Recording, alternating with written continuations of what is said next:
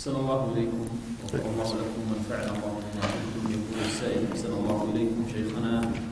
قال الإمام الألباني رحمه الله تعالى في صفة صلاة النبي صلى الله عليه وسلم أن ابن مسعود قال كنا نقول في حياة النبي صلى الله عليه وسلم أيها النبي وتحولنا إلى السلام على النبي صلى الله عليه وسلم بعد مماته هل هذا الخبر صحيح؟ صحيح. وأجبنا عليه. أجبنا عليه بست كم خمسة أجوبة ولا أربعة ولا ثلاث أج- اكتفينا بأربعة. أما الأجوبة عليه فهي أكثر من ذلك. تفضل. يقول السائل أحسن الله إليكم شيخنا الصحابة الذين قالوا السلام على النبي هما ابن مسعود وابن عمر رضي الله عنهما. روى البخاري رحمه الله عن ابن مسعود نحو ما روى الترمذي وزاد فيه وهو بين ظهرانينا. فلما- نعم. فلما؟ فلما قبض قلنا السلام على النبي. نعم. والترمذي اكتفى بهذا القدر وبين أنه الذي عمل به الناس وأعرض عن الزيادة. نعم. يقول السائل السلام عليكم. شيخ وطبعا الترمذي. اطلع على رواية البخاري. يعني ليس ليس هذا من باب عدم علمه بالزيادة لكنه لما أراد أن يروي ما كان عليه الناس وما عليه جمهور أهل العلم وأكثر أهل العلم أعرض عن هذه الزيادة. نعم. يقول السائل قلت إن الراوي وإن كان له راو واحد قد يكون ثقة ويوثق. هل هذا يتعارض مع ما قد أصله أهل الحديث بأن الراوي الذي يروي عنه راو واحد يكون مجهول الحال؟ لا لا يتعارض. كلام أهل الحديث إذا كان الراوي ليس فيه توثيق ولا تجريح. لا توثيق ولا تجريح. ولم يروى عنه إلا راو واحد فهو مجهول العين. فإذا روى عنه راويان فهو مجهول الحال. أما إذا كان فيه تجريح فهو ضعيف لا يقال فيه مجهول. وإذا كان فيه توثيق فينظر في التوثيق. لكن إذا كان فيه توثيق غير معتبر توثيق يعني مثل توثيق ابن حبان توثيق العجري توثيق العقيلي آه، وما إلى ذلك فحينئذ إذا ثبت عنه إذا روى عنه راويان ثقتان أو أكثر من من راويين فحينئذ ترتفع عنه الجهالة ويكون حسن الحديث. هذا التفصيل الذي أصله أهل العلم. ما أصل أهل العلم أن الرجل إذا كان فيه توثيق وروى عنه واحد فإنه يكون حينئذ إيش؟ مجهولا. لا هذا الكلام غير صحيح. أحسن الله إليكم يقول السائل قلت إن مخاطبة الرسول صلى الله عليه يبدو أنه وسلم نفس السائل كأنه. بس ما هل يستحق؟ هذا السائل هذا ثاني سؤال له فقط. طيب ماشي. لأن نفس الأسلوب في السؤال فظهر أنه نفسه. نعم. يقول قلتم مخاطبة الرسول صلى الله عليه وسلم بلفظ الغائب في التشهد مرجوح.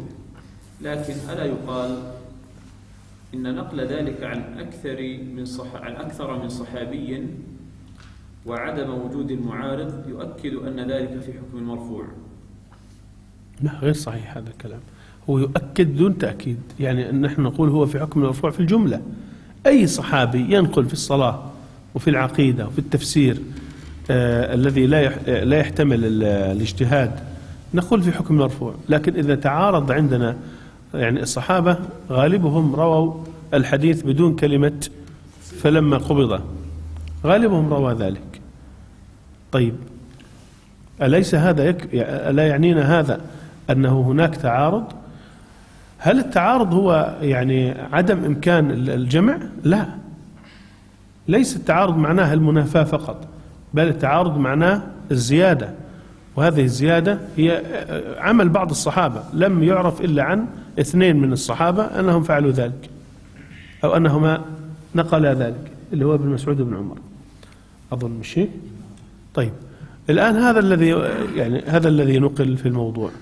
الذين نقلوا ال- ال- ال- الت- التشهد غير هؤلاء ومنهم آه، هؤلاء الذين ومنهم هذان الذين رويا هذا روياه لغير من روي ذلك بدون هذه الزيادة. ثانيا كذلك ابن ابن عباس وعائشة وجمع من الصحابة رووا هذا من غير أن يذكروا هذه الزيادة.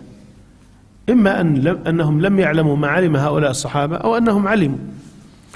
فإن لم يعلموا ذلك فهذا فإن لم يكونوا يعلمون ذلك فهذا يعني أن النبي عليه الصلاة والسلام لم يذكر ذلك في جمع من الناس بحيث لم يعلم أحد خص هؤلاء دون غيرهم. وهذا لا يتوقع من النبي عليه الصلاة والسلام.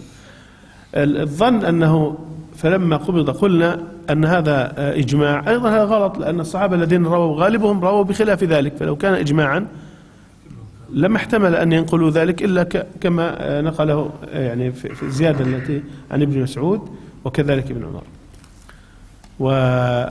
وقضية أنه فلما قبض قلنا لم يأتي تصريح واحد عن صحابي واحد بأن هذا عن النبي صلى الله عليه وسلم فاحتمل مع أنه إحنا نقول الأصل في مثل هذا أنه في حكم المر فاحتمل أن يكون اجتهادا.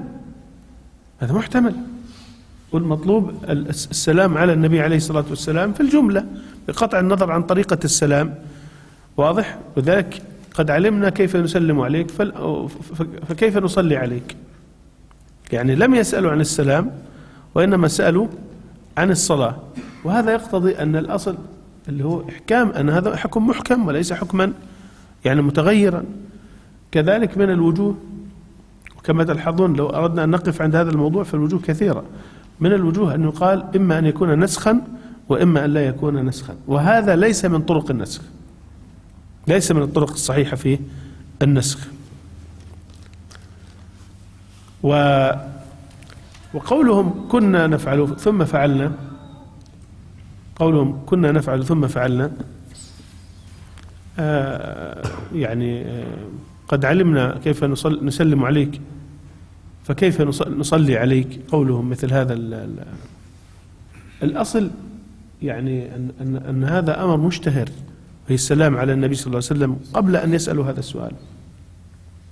فكيف لم يشتهر عن السلام؟ يعني يعني قصدي في الكلام أنه أنه طالما ظهر السلام فإما أن يكون ظهر بالتعليم وإما أن يكون ظهر بسماعهم منه لكنه في النهاية إيش؟ ظهر. فكيف ظهر في أول أمر النبي صلى الله عليه وسلم حيث كان الناس قليلا ما يعني عادة في الرواة في أول الأمر يكونون أقل؟ يعني مثلا رواية في مكة عن النبي صلى الله عليه وسلم حجم الرواية بالنسبة لعدد السنين قليل جدا. عندك ثلاثة عشرة سنة فيها رواية قليلة جدا وعندك عشر سنين في المدينة غالب روايات الحديث عن النبي صلى الله عليه وسلم في المدينة. يعني تقريبا جميع الصحابة رووا عن النبي صلى الله عليه وسلم في المدينة وقليل من الصحابة من روى عن النبي صلى الله عليه وسلم في مكة وغالب من روى في مكة روايته إيش؟ مرسلة. واضح؟ وكلما تأخر العهد كثر الرواة. فكيف تظهر صيغة السلام على النبي صلى الله عليه وسلم في أول الأمر؟ وتخفى في آخر الأمر. واضح؟ الشاهد من الكلام أنك لو وقفت مع هذه القضية ستجد الوجوه كثيرة. أقل وجوه أن يقال هذا في حكم المرفوع وهذا مرفوع. هي مو فلما قبض. طيب. يعني معناتها ما خبروا ما هو إحنا ما عندنا دليل لما خبروا. ممكن يكون فلما قبض عملنا بأمره معناها. فالاحتمال موجود. يعني ما في عندنا نص لا في الإثبات ولا في المنع. ذاك إحنا قلنا في البداية لا نعارض من يقول بالعمل بهذا الحديث لاحتمال أن يكون ذلك عن توقيف من النبي عليه الصلاة والسلام لأن هذا ليس مما يجري فيه الاجتهاد. لكن بعد ذلك تراجعنا قليلا قلنا يمكن في احتمال أن يجري فيه الاجتهاد. ليش؟ لأن الصحابة ما سألوا كيف نسلم عليه.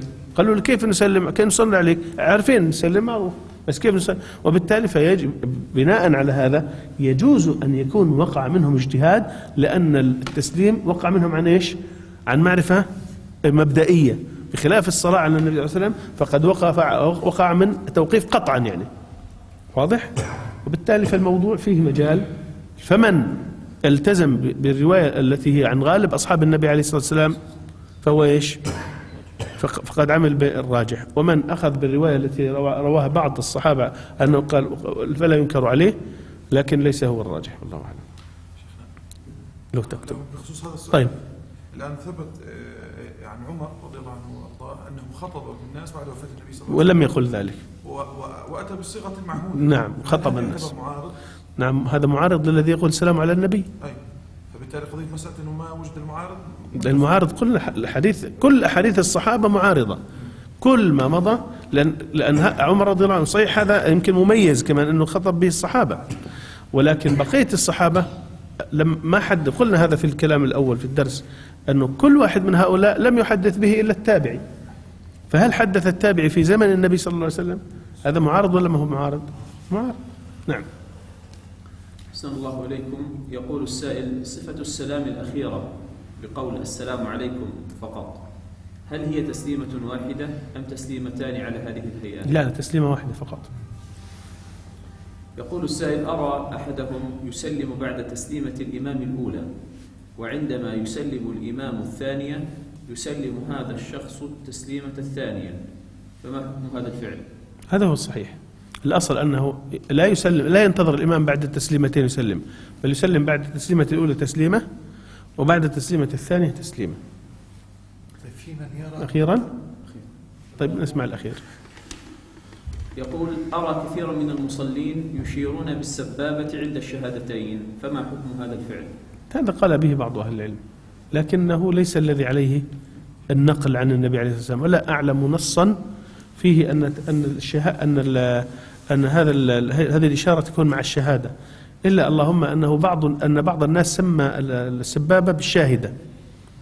فربما وقع في نفوس بعض الفقهاء أنه أشار ليشهد بإصبعه. ولكن هذا يعني هذا المعنى لا يكفي في إثبات حكم شرعي. وبالتالي فالقول بأنه عند ذكر الله ربما يكون أولى لكن مع ذلك الأولى والأقوى هو أنه يستمر في أثناء يعني آه، الدعاء. كما جاء في الحديث يدعو بحديث أظن ابن عمر واضح يعني في هذه النتيجة. إيش كان الإشكال؟ الإمام أحمد يرى بأن التسليمتين ركن الحقيقة المنقول عن الإمام طيب نذكر إذن المذاهب. أما عند الأحناف فهم قد سهلوا في هذا الموضوع جدا. هم أكثر من تساهل في هذا. وأما عند الإمام مالك فالتسليمة الأولى هي ال- التي عنده ركن. وأما عند الإمام الشافعي فعنده الأولى ركن. والثانية طبعا مستحبة وأما عند الإمام أحمد فالتسليمة الأولى ركن والتسليمة الثانية آه، مستحبة على مذهب الإمام الشافعي كما كمذهب الشاف- الشافعي. والرواية الثانية أنهما ركن وعليه قول أكثر المتأخرين مذهب الإمام أحمد. والإمام ابن قدامة رحمه الله تعالى وهو المعتمد يعني كلامه معتمد في مذهب الإمام أحمد رجح الرواية الأولى عن الإمام أحمد وهي الموافقة لمذهب الإمام الشافعي. يعني كلام ابن ابن قدامة في في في, في هذا الموضوع. ذكر أن المنقول عن الإمام أحمد روايتان. رواية موافقة لمذهب الشافعي ورواية انهما أن كلت وهو, أشد المذاهب في هذا أن كل من التسليمتين ركن وهذا القول أضعف الأقوال على الإطلاق. وهو أضعف قولي الإمام أحمد بالنسبة للحنا... لمحققي الحنابلة مثل ابن قدامة ومثل يعني الكبار وإنما قال به بعض متأخرة الحنابلة. لم يقل به جميع الحنابلة بل بعض متأخرة الحنابلة والقول الأظهر عن الإمام أحمد هو فقط إيش؟ تسليمة واحدة. ركن والثانية مستحبة مثل مذهب الإمام الشافعي والله أعلم. وعلى كل الأحوال المأموم يتابع الإمام. عند الاختلاف نعم. ويسلم الثاني إذا سلم الإمام الثانية بمثل وصفة و... يعني إذا قال الإمام مثلا السلام عليكم ورحمة الله السلام عليكم ورحمة الله لا يقول السلام عليكم ورحمة الله وبركاته. يلتزم بما يقوله الإمام. إذا سلم الإمام تسليمة واحدة يسلم فقط تسليمة واحدة. إذا صلينا هنا الجنازة تسلم خلف الإمام تسليمتين. إذا صليت الجنازة في مكة أو في المدينة تسلم تسليمة واحدة. الجنازة كما يسلمون. تلتزم بما يفعله الإمام. إنما جعل الإمام ليؤتم به فلا تختلفوا عليه. وصلى الله وسلم وبارك على محمد وعلى آله وصحبه. إيش؟